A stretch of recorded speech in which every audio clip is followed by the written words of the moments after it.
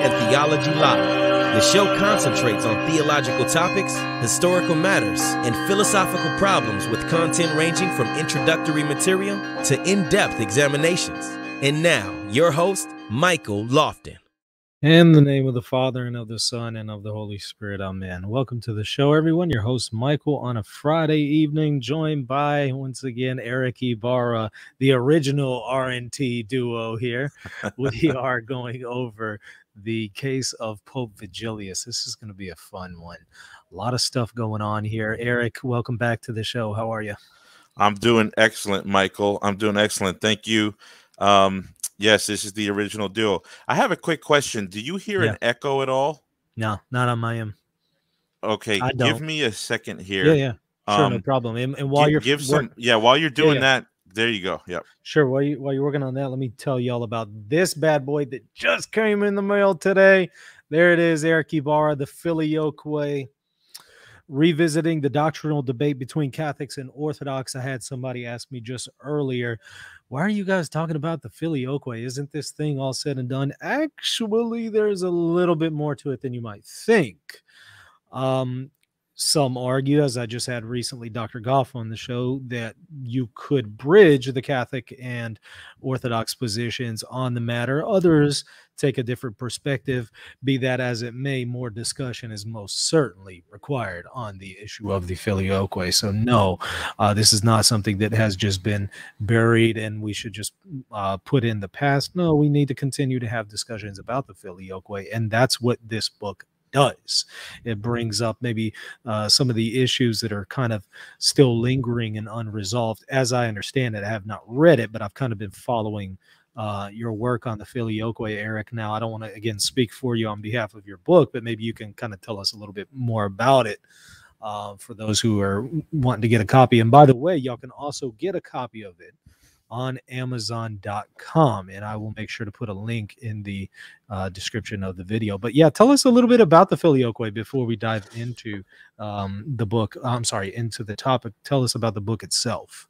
Awesome. Yeah, sorry for that delay. What happened was I had our our link up, you know, the StreamYard video up, and I had this uh I had my East the the Internet Explorer tab that I don't usually use um, that was already set to the YouTube uh, link. So then it was concurrent. It was it was it was very strange. So I'm like, what is going on here? And I finally said, let me look at this Eastern the the internet uh, the the Explorer option. Boom, there it was. So I'm sorry for the delay. no, you're fine, not a problem. So tell me about the book. Do you think that do you think that the matter of the filioque is unresolved, or no? Do you br- bring out in the book maybe some further work that needs to be done between East and West on this? So yeah, this book here, um, it, it, it I don't think it achieves uh, reconciliation, um, right. but it definitely will take people who are new, they're inquiring into the issue, basically the the the beginnings, the the the the milk, the meat, and then and the dessert of the whole dispute. So if I don't know anything about the filioque, this is the book for me right? Yeah, I would say I would say it is. And if you if you'll you'll know whether you can go with the tempo of my book within the first like 20 pages. And if you can't, I do recommend two preliminary primers um that you could get. So if somebody's still like, man, I'm still not getting this, yeah. there's two short primers that I recommend mm-hmm. um anybody to read. Uh, because the filioque is a doctrine that's couched in the Trinitarian doctrine. So mm-hmm. if you don't know Trinitarian doctrine, don't ever think you're going to understand the filioque. So, um, yeah, so it, it, does not resolve the issue, but I do think um, I give the the path forward, which I think is essentially what Metropolitan Kallistos Ware said in his classic book, um, the Orthodox Church. I mm-hmm. mean, I know it sounds kind of simple, but I think his resolution is the best. um, but other other, and I think he's, I think he's, he deserves a lot more credit can, than he gets. Can we get a sneak peek on what that resolution is? Yeah, absolutely. I I think that you know uh, he basically uh, reduces it down to a standoff between Augustine and Saint Gregory of Nyssa, mm-hmm. the Cappadocian and the Augustinian way of looking at things. And he says that, you know, both of them understand that there is one God, there's one essence. And, and this supposed difference between the West emphasizing the divine essence and the East emphasizing the, the, the triune personhood and how that's the cause of the clash. Uh, Kallistos Ware does not fall for that mythology and he recognizes no both were interested in the, in the unicity of the divine essence and both were interested in how to to trinitize um, with the one divine essence um, the second thing he says is that both understand that the father is the primordial font of all generated deity mm. so the father is the font of all mm. deity Augustine is very particularly concerned to conserve that, mm. as is the Cappadocians. And the third thing is simply that um, the uh, filioque, the the procession of the Holy Spirit, which is really just his eternal production, where he comes from, where his person comes from, and um, a Gregory of Nyssa is insistent that um, it's not we're not to conceive the Trinity just as like the father as like a son and the the the the the son of god as like one of the rays coming out of one side and the spirit like another ray coming out from the other side. No no. There's the original sun then there's the light and then there's the ray that comes from the light and that's the holy spirit that comes from the son and and ultimately traced back to the father and Augustine can comport with that, but he does have an irreconcilably different structure to it. But he still differentiates the Son and the Father in the production of the Spirit, where the Son receives the power to spirate, he doesn't have it natively in himself. And so, if you can just comport those three things and just say, look, the structures are different, they're not reconcilable. The structure is not but the product, the the uh, the effective orthodoxy of the doctrine is compatible. Um, mm. But we we just have to be open to seeing that there can be two irreconcilable structures that can reconcile in the essential aim of the teaching and mm. that's not easy to do because you know both sides want to say that no the structure's got to be the same as well and uh, i think that if we're willing to at least table the structure and and and and focus on the aim of what we're teaching, then um, we could reconcile. Man, I got so many questions, but what, let, let, I tell you what, let's do let's do another show yeah, on this yeah. book specifically. Yeah, no problem. Um, because we we definitely need to get to Vigilius here. Um, all right, so kind of walk us through who exactly was Pope Vigilius? How was he um, involved, of course, with the Fifth Ecumenical Council. And after we kind of set the stage, I think at that point we can start to talk about maybe some of the controversies involving him relating yeah. to papal infallibility. Yep, yep, yep.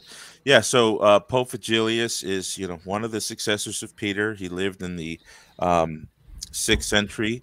Uh, you, you know, his his entrance into the papacy was quite controversial. Um, he mm. follows Pope Silverius um, who was treated unjustly both by um, Byzantine uh, politicians uh, and Vigilius himself. Um, but that's a that's a whole nother story. And and Vigilius, I think, ends up redeeming himself, ironically, because um, most people remember Vigilius for being that you know this this shilly shallying pope that couldn't get things right and ended up causing massive scandal, and he did. But um, I think that if we were to compare the kind of failure that he went through with what we may have done in his shoes, uh, I think yeah. that uh, I, I, think we would have a ton of more mercy mm. on him, you know, mm. uh, than than is typically given in academia. But um, yeah, so he that's his, you know, comes into the fifth, sixth century, and uh, right into the heart of the controversies over Chalcedon. And you know, there's so much literature on this that has been pumped out in the past, um, that continued to be pumped out, hmm. and to this day is still uh, a, a, kindling fire in in uh, Christological uh, theology. Yeah. Um, he was so he came into the debate. It, it would have been very it would have been very beneficial for him to have been like us, who Mm. had all these years of knowing the controversy. He went right there to the heart of it when Yeah. it first exploded. So that's another reason why I'm just so empathetic uh, with with his issue. But um, that issue was the Council of Chalcedon was really was not accepted in the East very very well. Um, you had uh, large swaths of the bishops in Egypt, in Syria, especially some in Jerusalem initially, um, that really could not tolerate uh, the Calc- Council of Chalcedon, both for its criminality in condemning Dioscorus of Alexandria, uh, and because of its acceptance of the tome of Saint Leo, the Pope of Rome, who they understood to be a Nestorian, basically, Hmm. um, unintentionally or intentionally, uh, willingly or unwillingly. They thought his tome was too much on the duality of of, of Jesus, and um, so the East had a really hard time with this. Um, what that did was it created a massive fracture in the unity of Eastern Catholicism under the emperors. And Justinian was the genius that stepped up to the plate to try and resolve the conflict, um, basically by trying to figure out how he could tickle the theological ears of those who didn't receive the Council of Chalcedon. Um, you know, those they're called today, we call them Miaphysites. There's, you know, back then they were called monophysites, but um, f- for for uh, good reasons, I'm told not to call the uh, the um, what came what became Oriental Orthodox progeny monophysite, but Miaphysite. So Mhm, we'll just call them Miaphysites.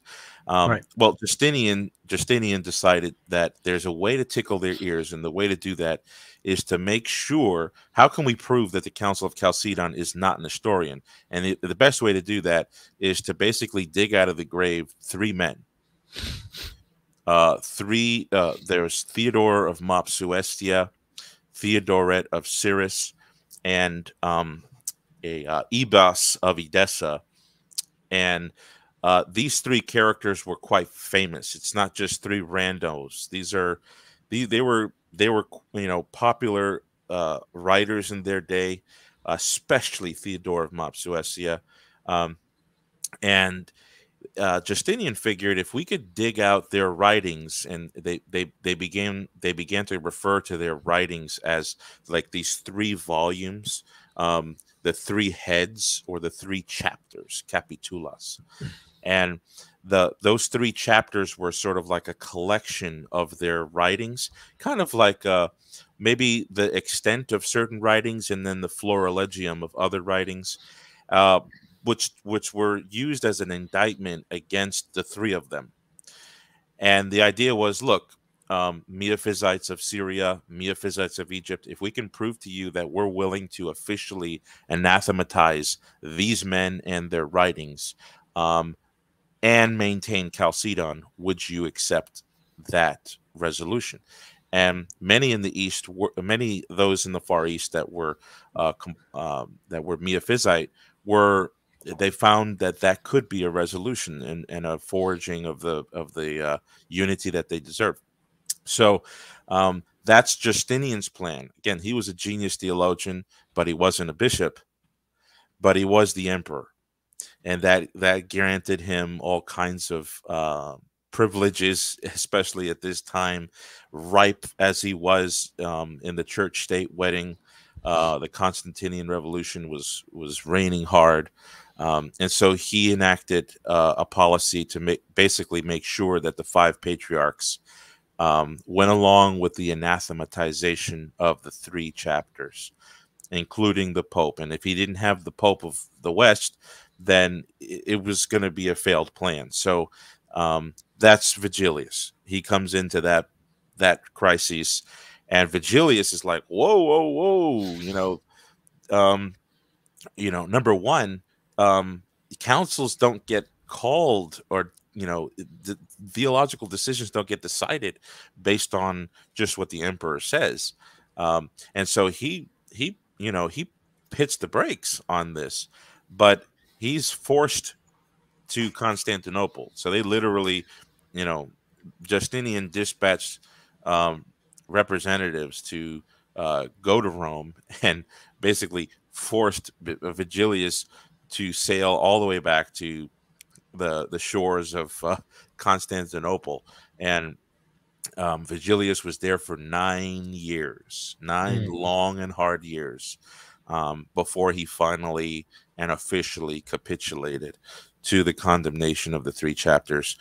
Um, and it didn't really resolve the issues that Justinian wanted to in the first place. Um, and uh, that that was because uh, that was due to other factors of more on the disciplinary side. Um, but uh, yeah, that's that's Vigilius in a nutshell. You know, he okay. he has this failure of going back and forth, trying to fight with the emperor, trying to um, negotiate, trying to renegotiate, then going back on his first negotiation, and then finally, you know, he gives in. He gives a defense for his view, and then he's allowed to go back to Italy. Unfortunately, he never made it back as he died on the way. Yeah.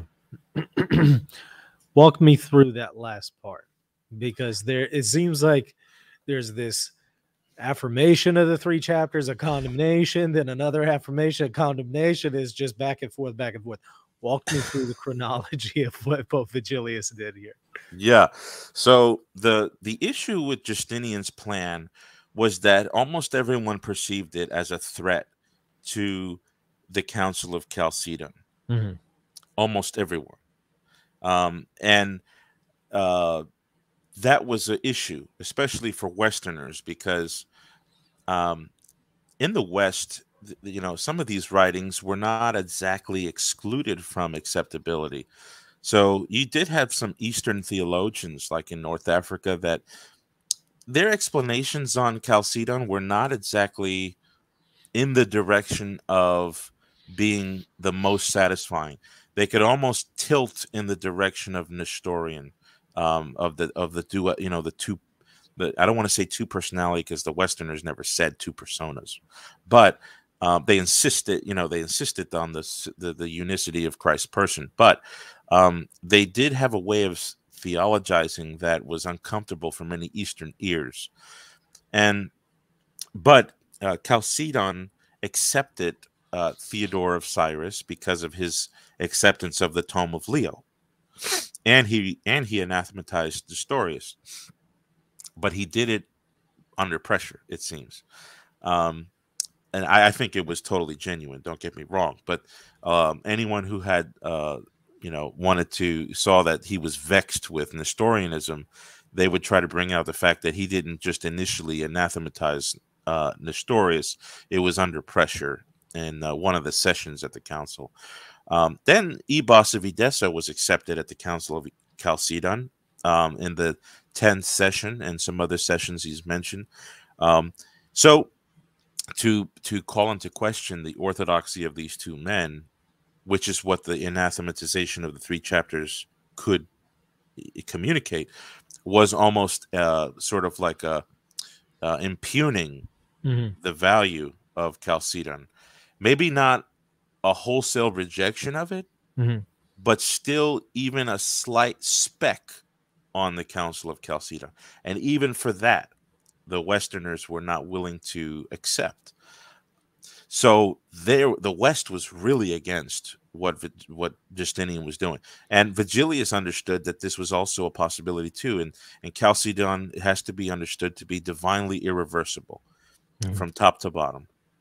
Um, and and so uh, Vigilius is he has quite a care to maintain uh, the the orthodoxy of the fathers and of the four ecumenical councils hitherto, and he was very skeptical about uh, the anathematization of the three chapters because it introduced this new policy of um, it wasn't exactly new, but it was new to public ecclesiastics where you could actually take a writing from a man who had already been dead for 10 50 you know 50 or 100 years mm-hmm. um, and reverse proleptically condemn them and and basically excommunicate them from holy memory.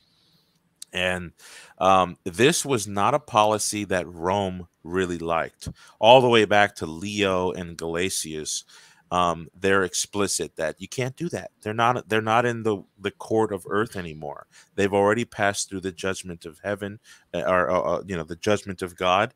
Um, at this point, it's it's outside of our jurisdiction. It's no longer a matter of the church judging. Well, you know, other theologians had a different view, including and unfortunately, uh, uh, Saint Augustine um, defended this idea of of sort of uh, posthumously condemning people. Um, um, that's you know that's a sad policy that came into the church. I doubt anybody in the pre-Nicene or the immediate post-Nicene era would have accepted that. Um, but it was opportune because if they could condemn Origen and others, uh, it was opportunistic. It was an opportunity for unity for contemporary matters, um, and so Vigilius didn't wasn't on board with that. You know, and initially he said you can't condemn the dead. Hmm. That was a policy that he had. So anathematizing the, those three men is off the table. Um, and even anathematizing their writings is an issue that we shouldn't divulge in because the, the record is settled. Theodoret uh, ended his life a Chalcedonian, and so did Ibas of Edessa. Now, Theodore of Mopsuestia, he wrote some writings that were obviously Nestorian. Even Vigilius admitted that. But the authenticity of whether Theodore actually wrote those writings was a question of the day.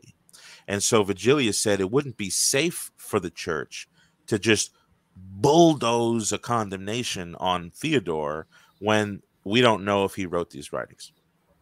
So I think Vigilius's initial hesitations were entirely wise. Mm-hmm. I think anybody today would think that as well. Yeah. But um, I, I think that you know 16th century uh, i'm sorry 6th century um, catholic uh, you know catholicism at the time um, had had a willingness to go through with this and and it's a, I think it's a sad policy i think we, i think the church accepted it but then rejected it later i don't think we would do that today um, so um, it took vigilius a long time to see that this would be a good thing to do as long as the, uh, Theodoret and Ibas were not condemned, their persons were not condemned. We can condemn some of their old writings that were uh, clearly Nestorian. Um, we can go ahead and anathematize Theodore because he just capitulated to the idea of the dead being anathematized after so much pain in Constantinople. He just had to give way. Um, but Vigilius never went through a process where he was Orthodox, became a heretic, and then recanted and became an Orthodox. That's not how the process went. Um, even in his letter where he recanted at the very, very end, um, he opens up by saying that he's always blamelessly persevered in the true faith. so um, that means that whatever um, whatever variances there were in his prior judgments, he he he he um he relegated those things to sort of like um innocent confusions that were concocted by the devil. Um, and he even compared himself to Saint Augustine, who at the end of his life um, had his uh, retractations, uh, where he, you know, he kind of, I don't, he just amazing scholar, went through almost all his writings and tried to figure out where he was wrong. Now, nobody would go back and say, Oh, Augustine, you went from being a heretic to being an Orthodox to being a heretic, you know, just based off. Of, so it wasn't until your retractations that you became a true member of the body of Christ. That's insane, you know, even, but so Vigilius compared himself to that kind of correction, which is not a correction of like formal heresy to formal reinclusion into the church if that makes sense. It does. Now, I want to talk about some of the difficulties involving Vigilius's retraction, but kind of walk me through what exactly happened chronologically. He issued multiple documents, but they contradicted each other. What's the order of them? Yeah, so initially he he published a document called the Iudicatum, um, or in English you could just say judicatum, um, which is just a decree. You know, it's it's just a decree um, condemning the three chapters, and this is something he did quite soon after arriving in Constantinople.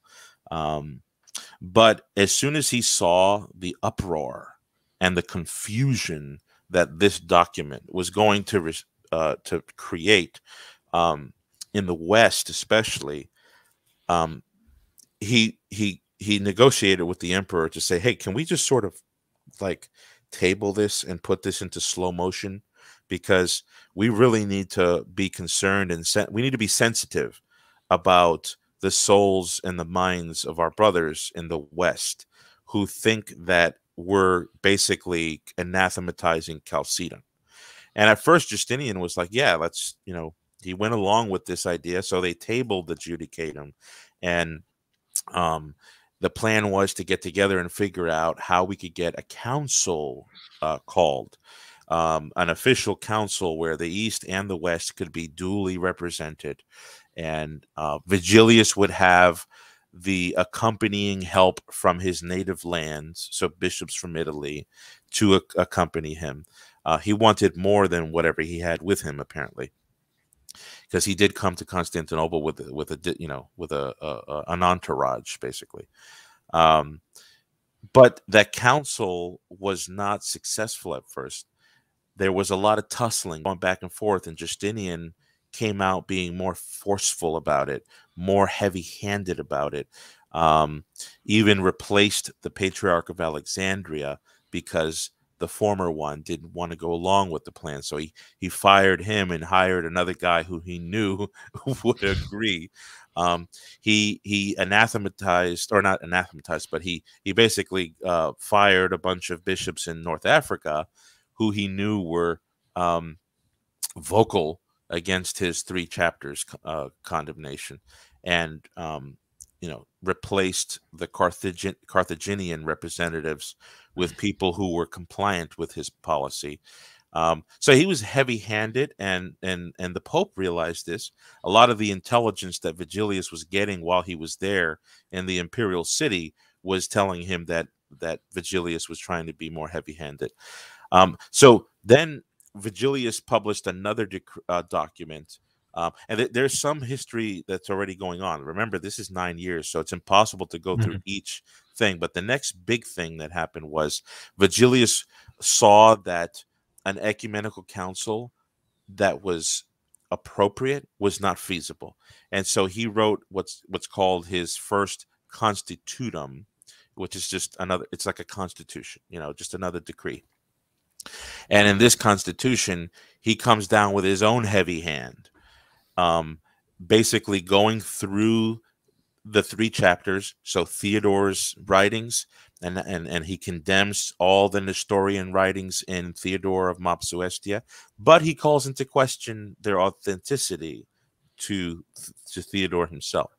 Then he goes through Theodoret and basically defends Theodoret for being um, accepting Chalcedon, accepting the tome, and then Ibas of Edessa, which is really the, you know, the the heart of the the crux here, um, or the crux here, is um, Ibas of Edessa's writings, nam- namely his letter to a, a, a certain man named Mari, uh, who was a Persian.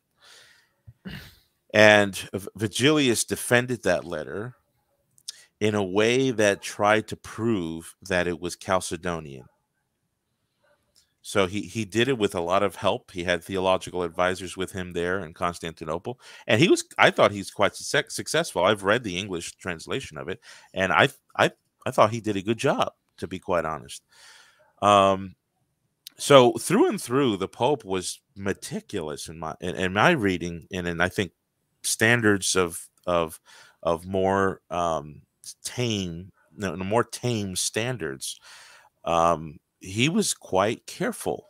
You know, he knew what Chalcedon taught. He knew that there was false interpretations of it. He knew where what Nestorian was, Nestorianism was, and he he condemned the Nestorianism in the three chapters, but he did not want to condemn any of the persons. Well, that was in his first constitution, which was not accepted. in Mhm. Constantinople. Right. Um, Justinian did not accept that; it was not good enough. Um, I mean, he the, he wanted the, the the the emperor wanted him to go all the way, just go all the way. And at this point, a council was called, and uh, you know the eastern bishops were assembled, and they did have uh, associated bishops um, meeting in Constantinople. But Vigilius just didn't recognize its opening session. He just didn't recognize it. Mhm. Um, he didn't have the Western, the, the Department of the West that he wanted, um, and he just didn't think it was a legitimate call. Well, uh, then the Justinian came down with a strong measure. You know, he sent instructions to the council to remove Vigilius from the diptychs of Constantinople. Hmm. So basically, excommunicating Pope Vigilius. Um, and the bishops complied, and they they appealed to the fact that he alienated himself by a refusal to give a wholesale condemnation to the three chapters. So they they thought the Pope was a supporter of Nestorius because they the, they said, "Lest we commune with Nestorius, let's get Vigilius out of, um, out of office, or let's let's uh, suspend him from communion." So it's clear that the the Eastern bishops just jumped to the idea that he was a supporter of Nestorianism, which is I don't understand how that makes any sense Hmm. because even in the first constitution i- if there's it's, it's, a, it's a massive document where he systematically goes through where Nestorianism comes up and he condemns it. He condemns it over and over and over again, almost in 61 extracts from Theodore of Mopsuestia. So I, I, I just don't know how they. It, it, to me, it seems kind of brash, you know, just jumped to that conclusion. And same thing with the, the emperor. Well, six months later, um, the Pope turn, makes a turnaround. Um, and you know he capitulates to the idea of anathematizing the dead as it pertained to Theodore of Mopsuestia, and he recognized that the letter of Ibas of Edessa was actually not to be defended as Chalcedonian, which he did before, but is actually to be condemned because it does fall victim to Nestorianizing doctrine. Um, and and so he releases what's the third document or the third famous document um, is the third, the second constitutum of the second constitution, where in this one, um, he doesn't appeal like to the authority of the council, like the council has the authority to decide this, um, or that he was a heretic and that he was a Nestorian and now he found the truth. No, he basically said, by the authority of the papacy, he annuls his first constitu- constitution. So it- it's like he didn't even think his first constitution was annulled yet. Mm. Um, so he opens up by saying, by the authority of the Apostolic See, we annul all the previous uh, decrees of the Apostolic See. So here's a recognition of the Pope that the previous decrees of the Apostolic See were reformable. This is an idea that you brought to me when I was talking to you about this probably a year ago or so. Mhm. And uh, um, so that's that's a that's a that's an observation to to to keep. Mhm. Um, and then he also says it's it's by his own authority that the new constitution stands up. Yeah. Um, and so he basically does conform to the theological and the disciplinary decisions of the council. And as a result of this, Justinian went back into the, the acts of the council and expunged from the council all of the texts that talk about his name being removed from the diptychs. Um, so that that actually didn't get put into the official acta of the council. It wasn't known in the West, at least um, that I can remember. I there there are some people who know about what happened with him. They write about it in chronologies, but um, nobody really talks about this fallout of of Mm. Vigilius from communion um, until centuries later when the east found that they could utilize it as a as an argument against the papacy but interestingly enough nothing that happened with vigilius um uh, toned down the papacy Yeah. um it would be something if oh my goodness look at what happened with vigilius now we know now we know that the apostolic see has to be uh, more closely held accountable, more closely monitored, and not given sort of um, supremacy uh, of doctrinal authority. Um, no, what what we see coming out of the Vigilius event is uh, two two councils which are the most explicit on uh, papal uh, supremacy, which is uh, the Council of Constantinople three, which is held in 681, and then the Council of Nicaea two in 787, both of which contain material text that just blow you away with how how uh, clear they understood the divinity of the institution of the papacy. So the Vigilius event did not inform anyone. Oh, okay, now we get it. This whole Petrine story that that you guys talk about, that's just a bunch of nonsense. Hmm. No, that's not how they saw it. Um, but at the same time, um, the first constitutum was quite forceful, and so um, Vigilius's reversal of that constitution has loomed large in uh, the minds of the- theologians and canonists, and then obviously, you know, Protestants and Orthodox, because they see in it a, a sort of like a way to defuse hmm. uh, pap- the papacy. Do you happen to have in front of you the the language that Vigilius used that makes it sound like he's teaching something infallibly that could never be reversed? So the for I so this is I, am I'm, I'm indebted to Father mm-hmm. Richard Price. Mm-hmm. Um, mm-hmm. If you guys want to learn more about Vigilius, read this book and then get almost every secondary piece of literature that he cites mm-hmm. um, to to really get into this controversy. Um, in the first Constitutum, um, and and this we, we kind of have to backtrack here because this uh, uh a, a, a, contemporary Catholic defense of Vigilius does require incorporating the development of ex cathedra conditioning. Mm-hmm. Um, mm-hmm. In, in, other words, uh, in other words, if you're under if you're under the impression that the doctrine of the papacy means that everything the Pope teaches is infallible, then yeah, there's enough material here to diffuse the papacy and basically put it out of business. You know, mm-hmm. um, so you know this does require this development, which I don't think is some sort of like, uh, oh, we came up with this idea to sort of, you know, pass the test of history. All we got to do is just you know reconfigure where the points actually matter. Um, you know, I know that I know it's tempting to go that route. Of course, I was a former Anglican; I would have appealed to that. Um, but the the uh, the limiting of irreformability to only certain conditions um, is actually quite normal.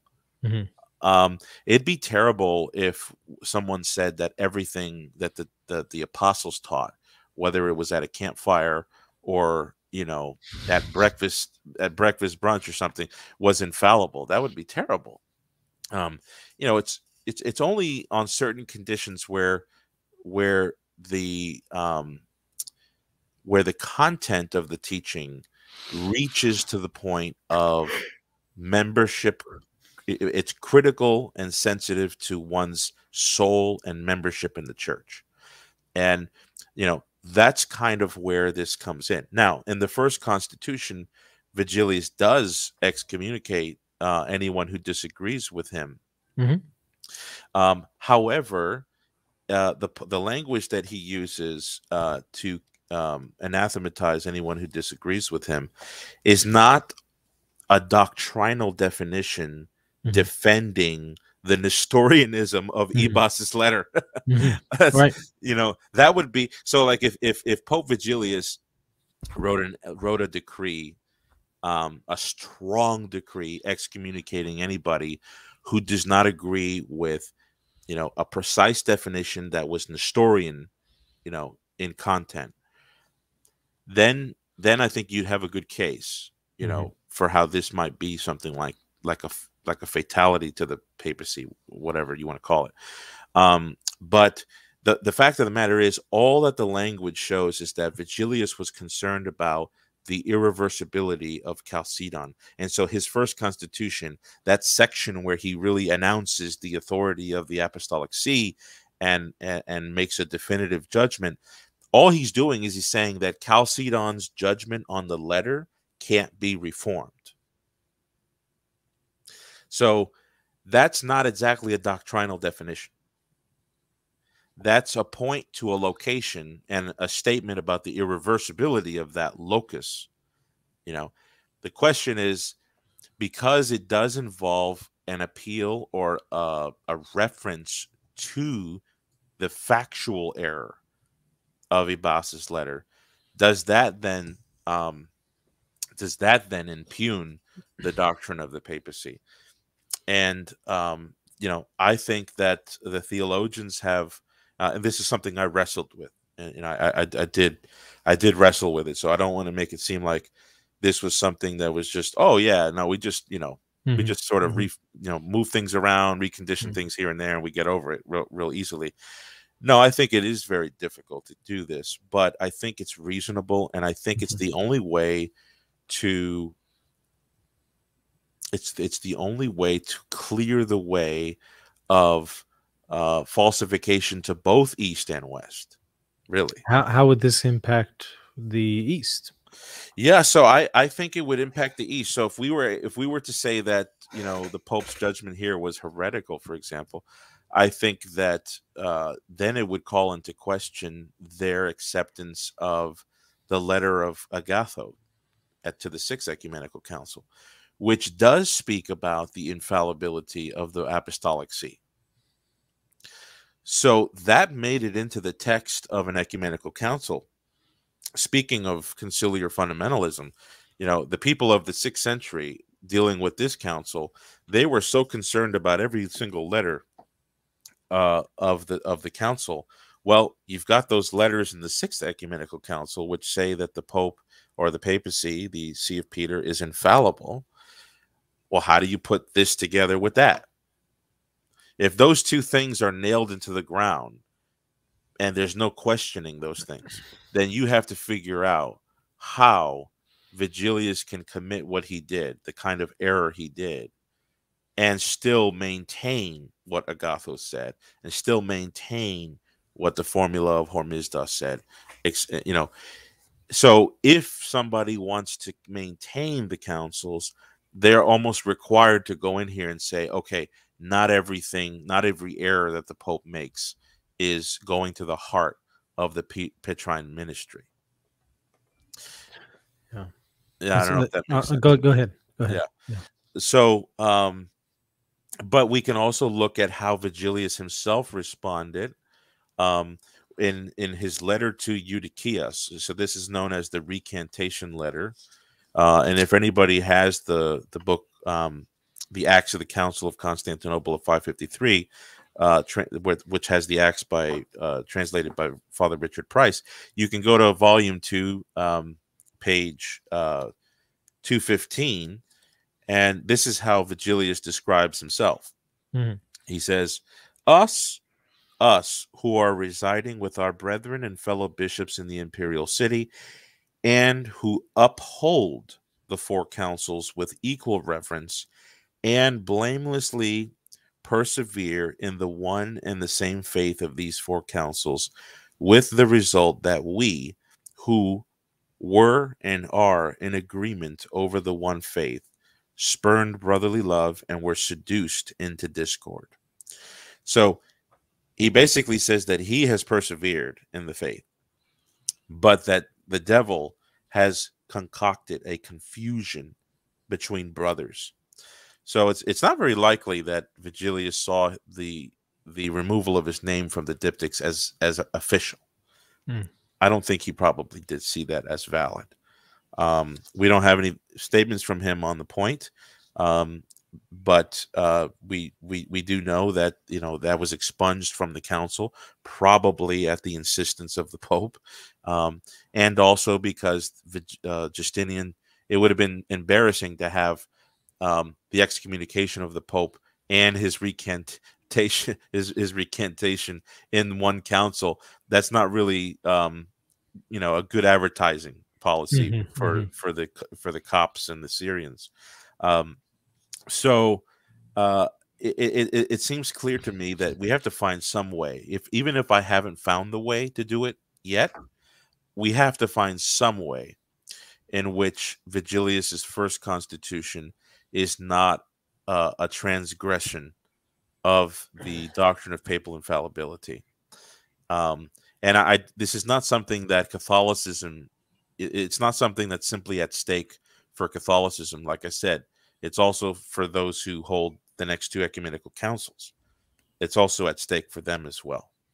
Um, so, and and I think you you would probably, if you looked into this, knowing what you know, you probably would be able to articulate this better than I. Um, but it, seems to me that the uh, the forceful condemnation of anyone who disagreed with his first constitution um, was something that the Pope himself annulled and called a mistake Mhm. but it wasn't a doctrinal definition. It was Mhm, more it was more along the lines of we we don't want to impugn Chalcedon.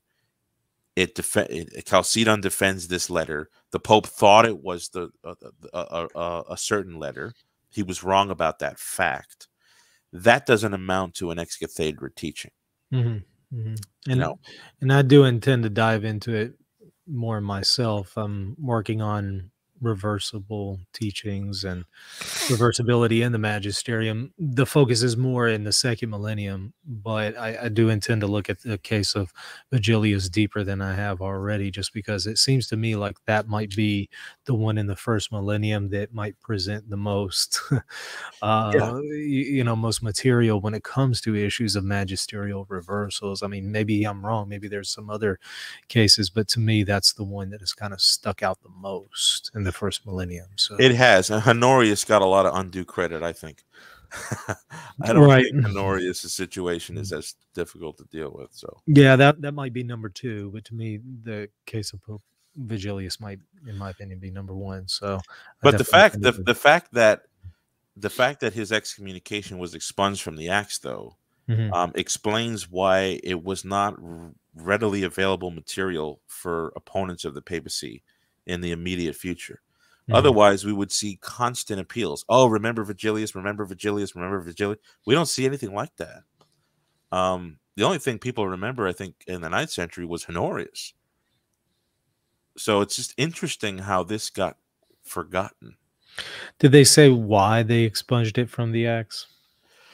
No, they don't. In fact, you know, I actually had to do some digging for this. Um, if you go to academia, if the listeners go to academia, I have an article um, on the Constituta of Vigilius. If you read that article, uh, I provide um, uh, statements to various Eastern Orthodox historians, uh, in particular, one manuscript historian.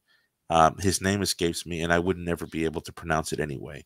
Mhm. Um, but I was able to, with the help of uh, Google Translate, uh, translate my English emails into Greek for him to read, and then translate his Greek emails to English. right.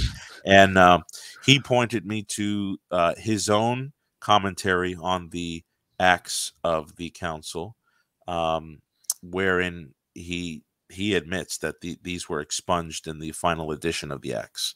Um, he and we're, historians are left to speculate. You know, some speculate that the Pope obviously didn't want that there. Um, Right. Others can speculate and say, well, Justinian thought it would look bad, so you know now that now that everybody was on the same page, we can kind of make the council look like it was just a everybody's on the same page here. This is one, two, three, boom, bung, you know, bada bing. So I, I kind of wonder how the expunging of his excommunication from the acts comports with conciliar fundamentalism and those that would maintain it. yeah, yeah, that's a good question. Um, I, I, maybe perhaps they would say, well, consi- you know what what we would actually consider to be, um, you know, definitive is actually that which was promulgated, and perhaps the excommunication wasn't promulgated; it was expunged before it was promulgated. I don't, I don't know. Yeah it's just it's it's it's um it, it's really tough to maintain when you're Yeah. in the you know it, it's easy to claim conciliar fundamentalism Right. but when you have to sit in front of someone who's testing that like Right. you know and you have to look look like you make any sense, um, that's when it becomes hard. A li- little harder. Yeah, I agree. I'm looking at the chat uh, here. Y'all go ahead and send some chat questions um, while we give them time. And by the way, make sure to put them to at Reason and Theology so I can pick them out from the comments that I'm seeing.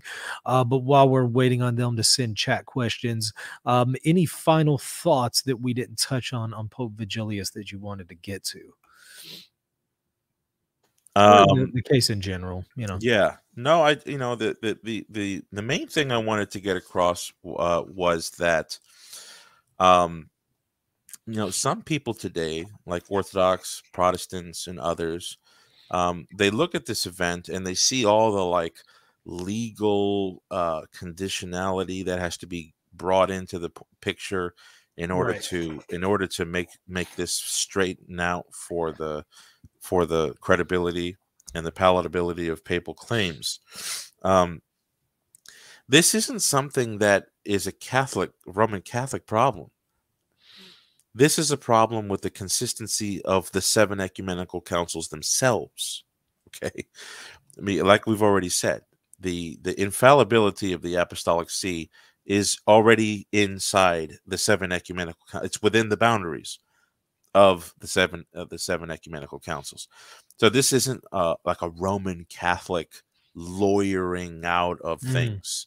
Okay, a Catholic is just simply saying, "Hey, we've got a clear, emphatic statement of infallibility based on the Gospel of Matthew, based on the Gospel of Luke, based on the Gospel of John, in the councils."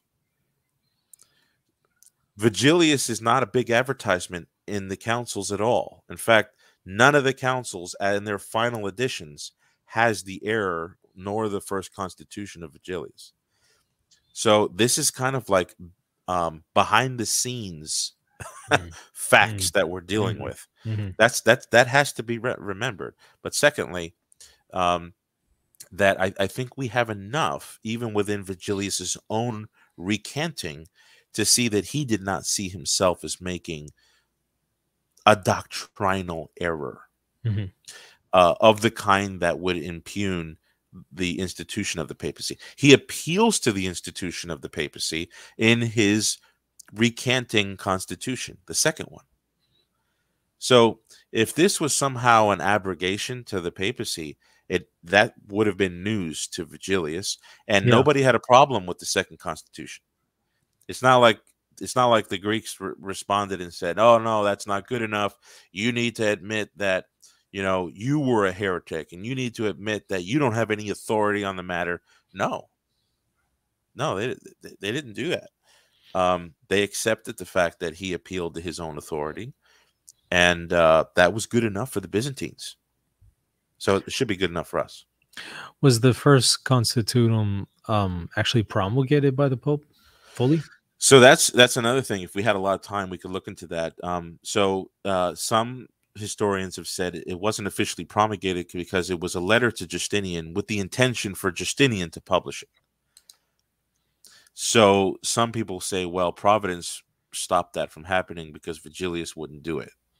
So some people could say, well, with the dynamics of magisteria, that may not have been an official decree of the magisterium of the Pope. Mhm. That's a possibility. I'm just not Right. educated enough on it to really, Yeah. you know, um, Yeah. you know, to I really mean, say one it or seems that that's a pretty important factor.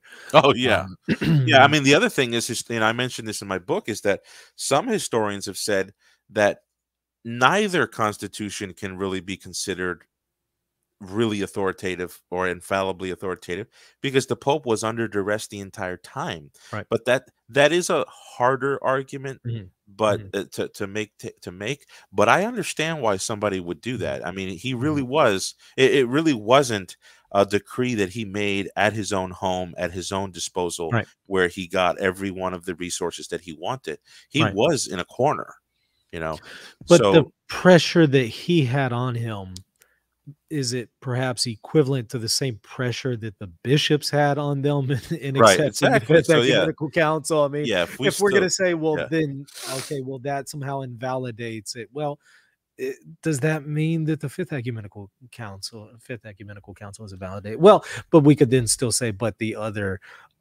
ecumenical councils affirmed the Fifth Ecumenical Council. So those were yeah. accepted without Yeah, pressure. I mean, so you There's could all maybe still get ways. away. Yeah there's all kinds of ways to resolve it but I, I think the main thing to get out here is that yes this happened at the fifth council Mhm. and even if we were to give okay fine you protestants orthodox you got three points on us you got a three pointer on us here Mhm. but what happens in the future at the next Mhm. council and then the next council you know we see there no toning down of the claims to divine supremacy now if it was the case that at the next council they said okay we're not going to hand we're not going to talk we're not going to accept the authority of the pope. We're not going to accept this whole petrine theory because of what happened with vigilius then i would say okay i think you protestants and orthodox are back in the game with this and maybe that you know your point there um, will determine the game.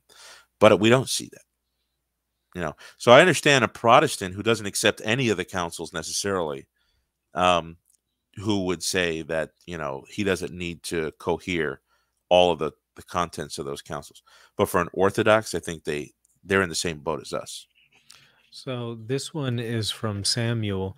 What would you make of Menas's condemnation of the three chapters qualified by his ability to retract it at the behest of Rome in accordance with the libellus accepted at 536? yeah so Menas of constantinople did um he did make a qualification initially which said that his his signature only has valid force uh, when the pope ends up supporting it.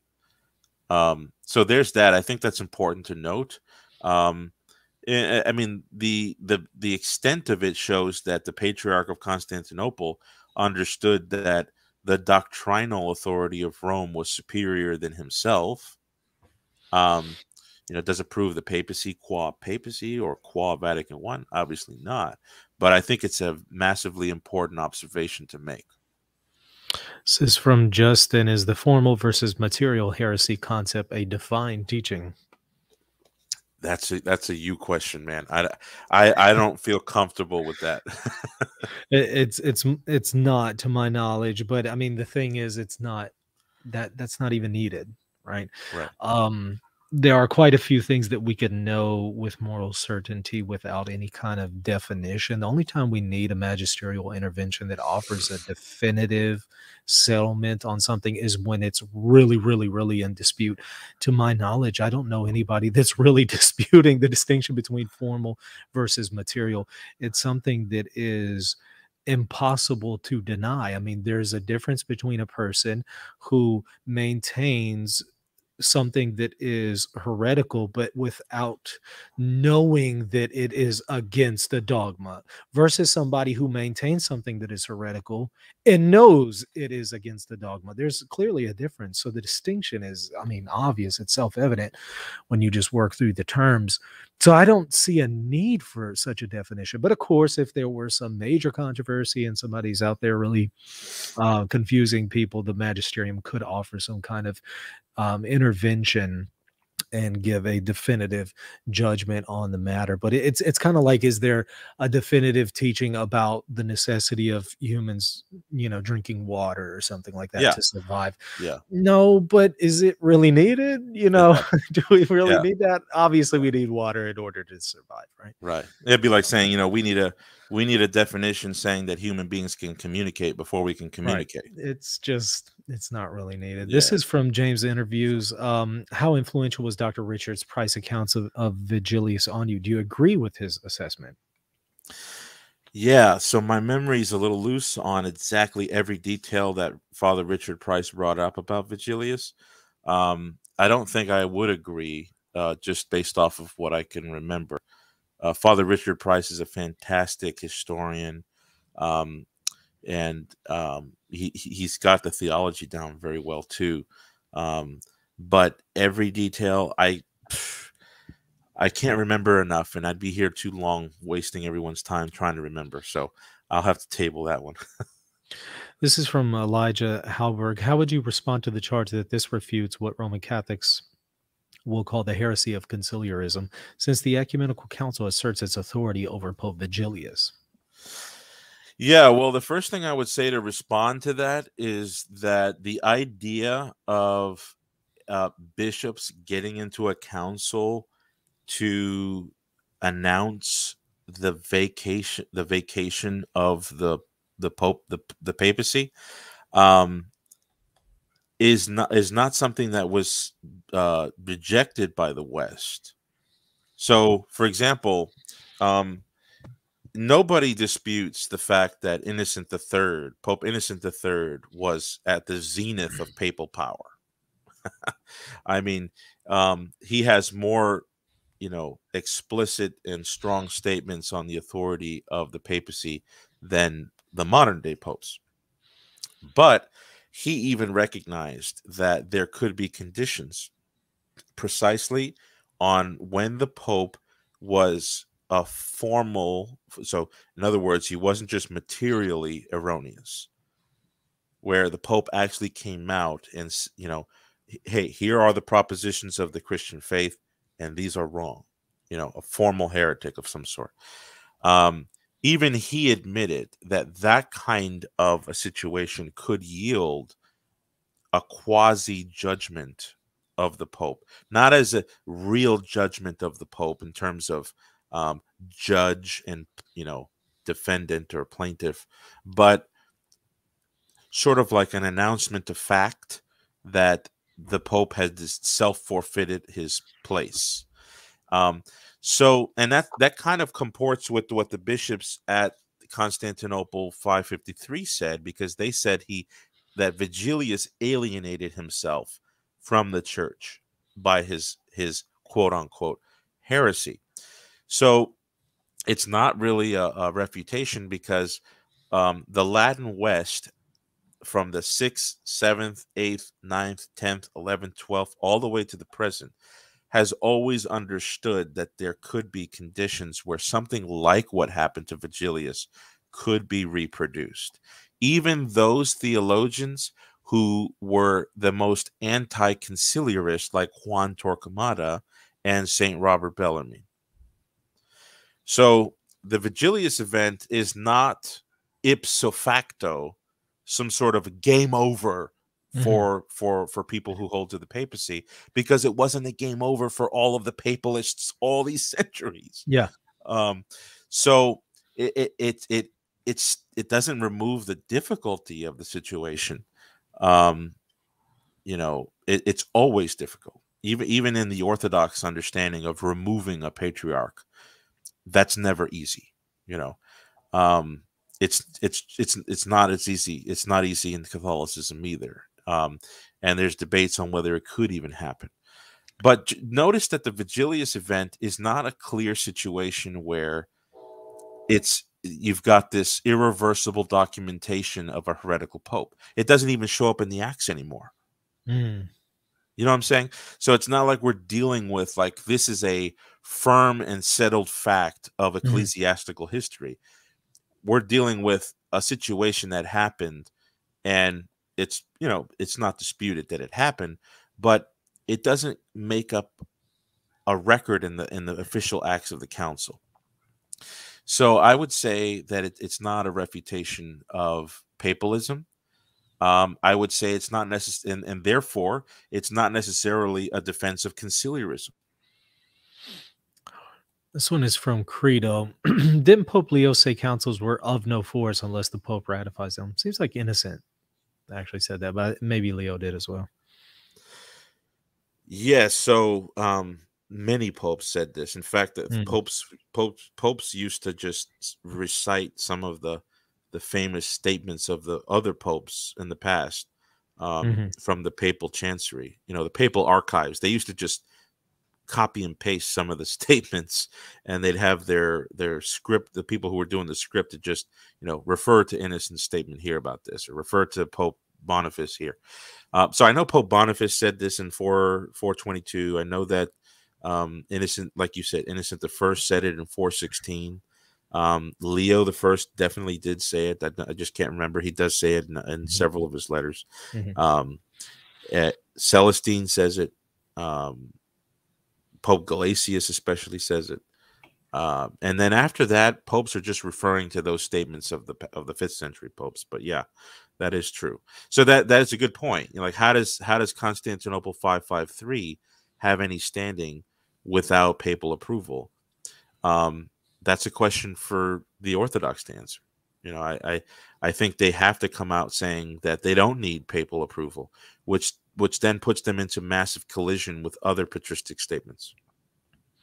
Um, there was another council or question here. Can you expand on how this would affect the other ecumenical councils? Talking about the issue of Vigilius. Yeah, so it does. You know, it, it kind of shows that there's redaction potential for councils. In other words, councils can have a final edition. Um, it, so it gives us that sense that certain things can be edited out of a council. I think, um, and uh, it doesn't directly affect any of the other councils. It, it, it what it does is it shows how robust the fathers were in trying to preserve every letter of a council, which which may end up showing um, shedding light on why the final edition of the fifth council did not have the excommunication of Vigilius because they knew that if they incorporated that, then that event would then get sanct- sacrosanct status. Um, so the fact that they avoided that is is is a key observation, I think. This is a fun one. What do you make of the alleged error of Vigilius when John IV of Jerusalem argues the eh, two Miaphysites in the 570s that we're right because we have Rome, which is infallible?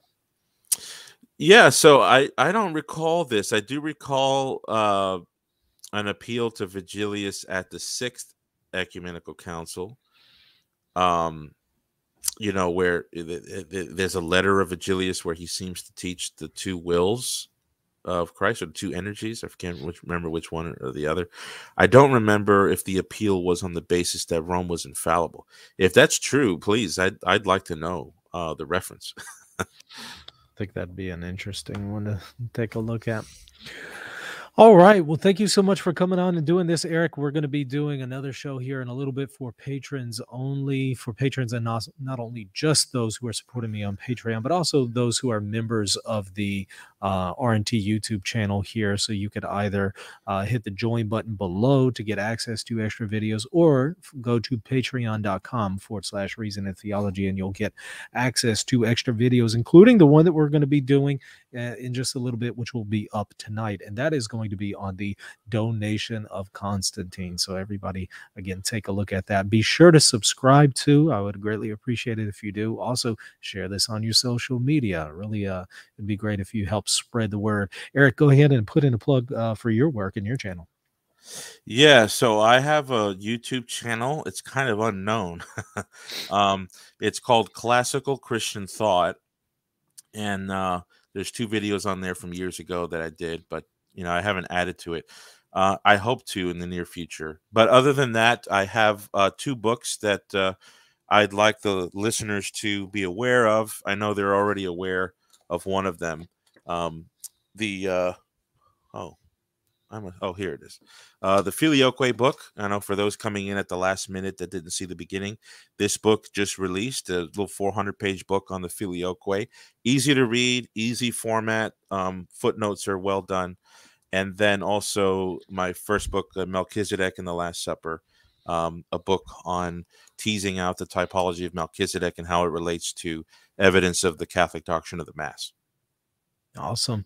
I'm really looking forward to the papacy one too, and I'm going to have you oh, back yes. on to talk yeah. about the Filioque one once once I get a chance to read it. So everybody, Thank stay you, tuned for that. Yeah, and uh, looking forward to this one here in just a moment on the donation of uh, Constantine. But everybody, again, check us out Patreon.com forward slash Reason and Theology, or join the channel to get access to that one. We'll see y'all later. God bless.